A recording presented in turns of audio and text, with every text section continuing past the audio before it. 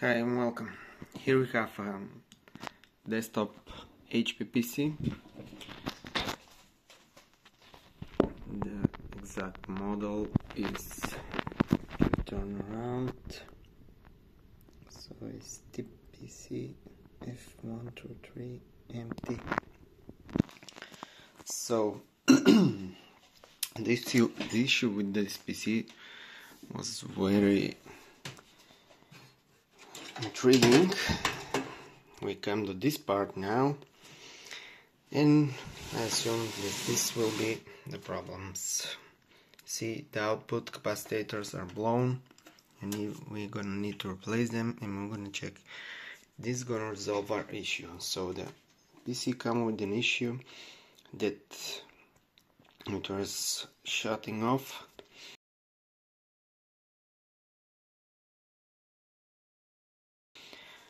Uh, after opening the PC there was uh, pretty much dust inside. So after that I cleaning all the contacts of the RAM, the cleaning the PC, the CPU, etc etc the computer again would continue with the same issue.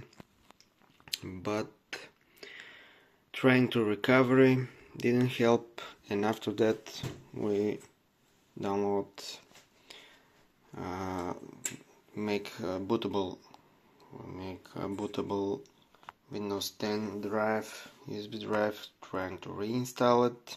But after during the install the PC begin to shut off. So after that this is the solid this drive it sits right over there on the motherboard. We replace that with uh, SATA hard drive but again the same issue.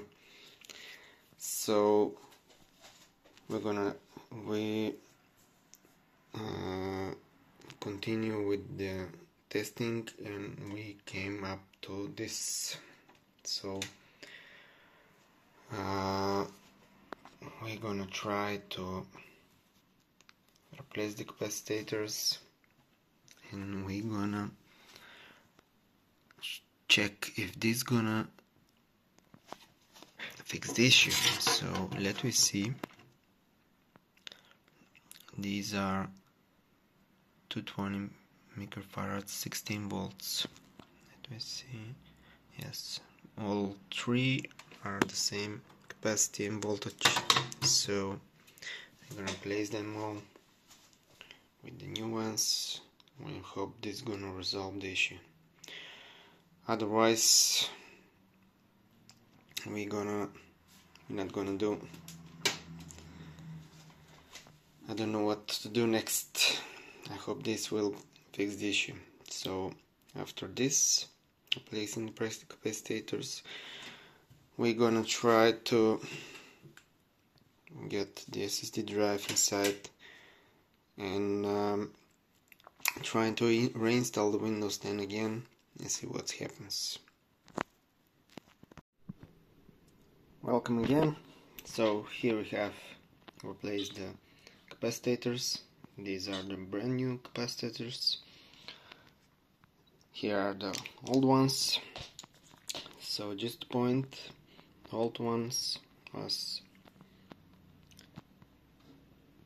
let's zoom this. The old capacitors was 16 volt. The new ones are 25 volts which is better.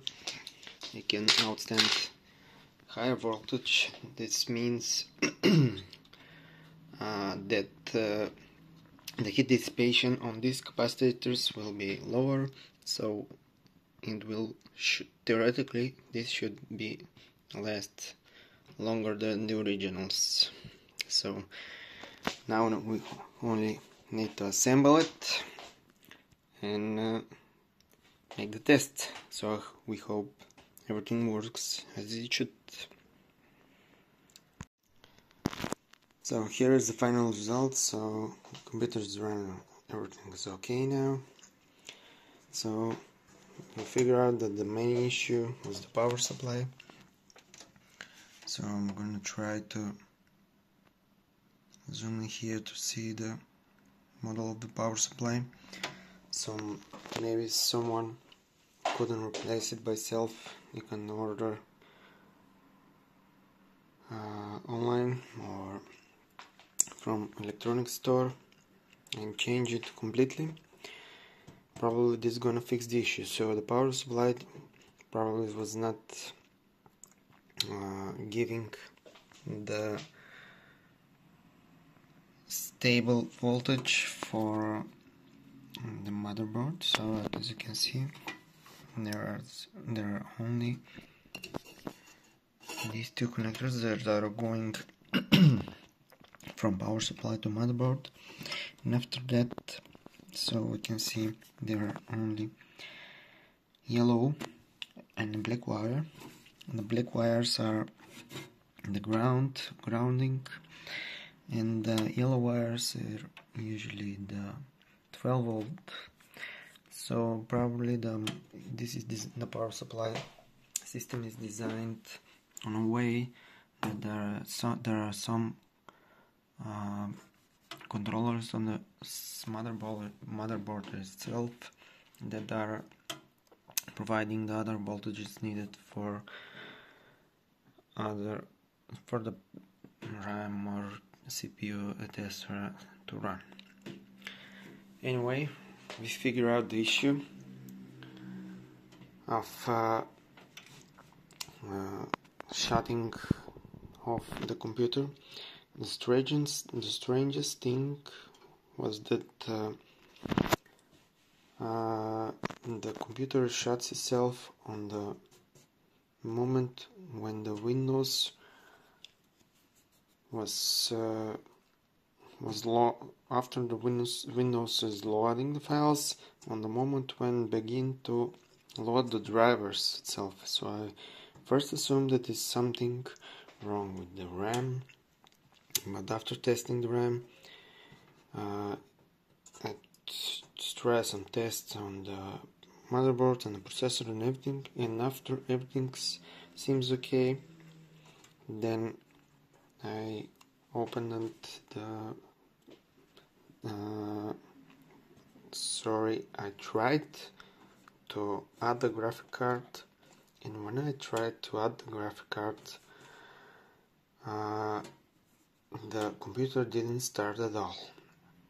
And then I begin to assume that there's uh, something issue, there's some issue with the power supply because the additional graphic cards needed more power to run and uh, this PC with the bad capacitors was not able to provide and after that I removed the graphic card, opened the power supply and noticed that the capacitors were damaged. So after replacing the capacitors I reinserted the SSD drive as you can see there I removed my hard drive that was added for testing so I reinstalled the Windows 10 operating system and everything was working perfect. So thanks for watching. I hope this video will help you. As you can see there was uh, lots of uh, posts on Reddit on other social networks that was complaining about these issues. So I hope this video will help you manage your problems. Thank you and have a great day.